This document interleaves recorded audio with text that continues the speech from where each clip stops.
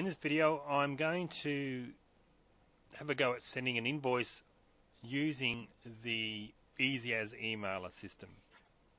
EasyAs emailer system works for the same way for um, invoices, quotes, purchase orders, etc. Now I'm going to create a new one because I wanted to show you something.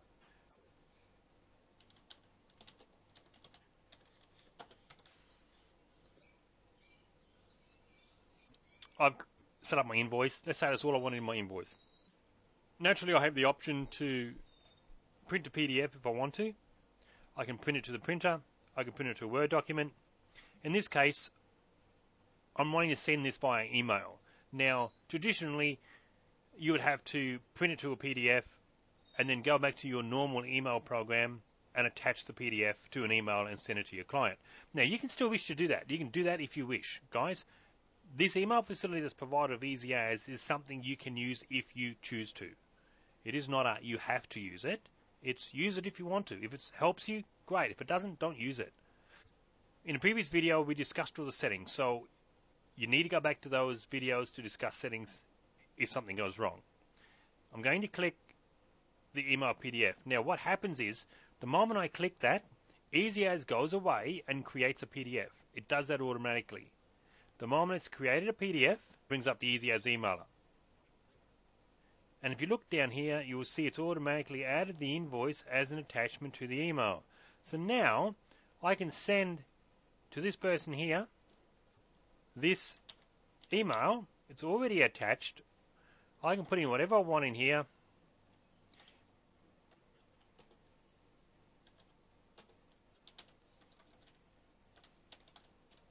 Okay, whatever. See, I've just scribbled some something in there. So whatever you send here, um, naturally I might put invoice, invoice number two.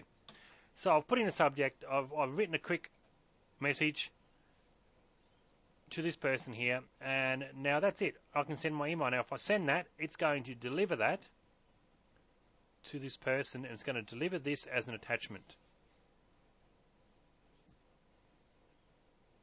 Message sent. Now, what I failed to put out before, which I will point out now though, is see now here we see the 5th of April 2013. I'm just going to exit this for a second.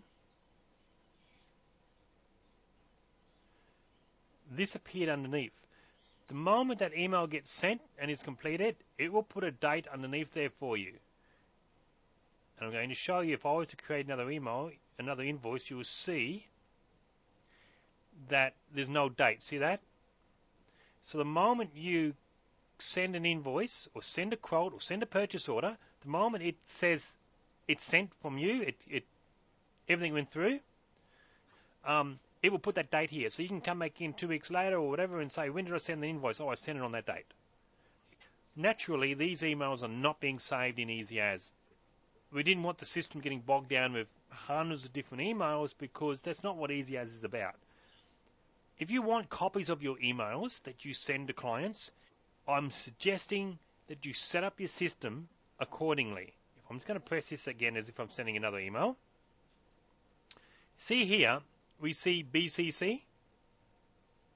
That is for blank carbon copy. If you look at most email programs, they have a CC and a BCC.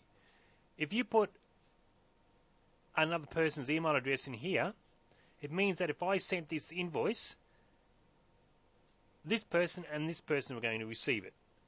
Naturally, if I put an email address in here, this person, this person, this person are going to receive it. Sounds pretty logical. But here's the difference.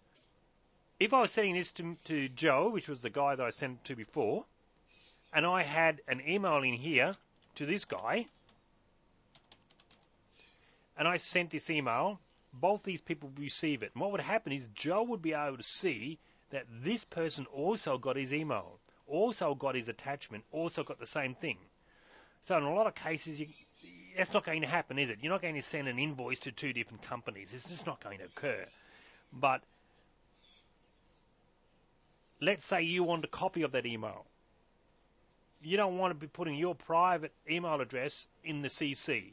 You want to hide that. Say you've got a completely separate inbox, which at EasyAs we have numerous easy e- email addresses. Um, no one gets to see them because they're private. They're, they're internal email boxes that are used by us. Now, we would put and send that to as a blank carbon copy, a BCC. So now, if I send Joe an email, and I sent this invoice to Joe, he doesn't actually see this. When his invoice, when his email comes through, all he sees is that this particular email was sent to him only. However, it also gets sent to this person or to whatever email addresses are in here. They will also receive a copy, and Joe will be none the wiser. So why? What's the value of doing that? It means that you get a copy. Let's remember, EasyAs is not here to replace your email program. It's not what it's about. This is to help to speed up for those clients who want to use this sort of facility. If you don't want to use it, don't use it. But if you want to use it, it speeds it up. But in a lot of cases, you might write someone an email, but you might leave a little message down in this in this area here. You might leave a little message to message for them, or there might be something in relation to the invoice that you've made a comment in this section here. That's in addition to the invoice, and you want to be, keep a record of that. Now, EasyAs doesn't keep a record of any of that. So if you send it out, it's too late, it's gone. But if you're sending it, but so what I suggest you do is create a separate email account. That anything sent from the email system from EasyAs goes to that separate email account, so you will receive it through your normal email program, and you've got a copy of it. Or you send it to your main business one. Whatever whatever you use, whatever your business runs, it's really up to you. The BCC, instead of having to type that in all the time, here's something I want to point out. If you jump in here,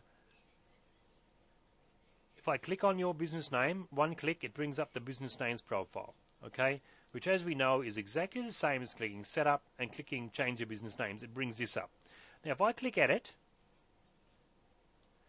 I go down to this box here. This box here is everything to do with the email section. So if I change this here now, just so that you can see,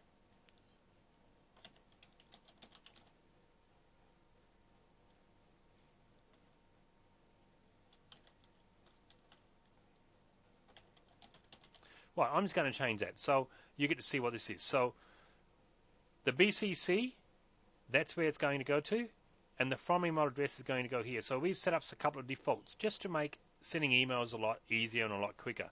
So if I click on here do we send this email again, you'll notice that automatically it's going to fill up the from box and the BCC according to whatever settings I've preset that saves a lot of time because you don't want to be duplicating this junk and you don't want to be having to type all this in all the time. So now you're free to just to enter your subject, enter your message, click send, and away you go.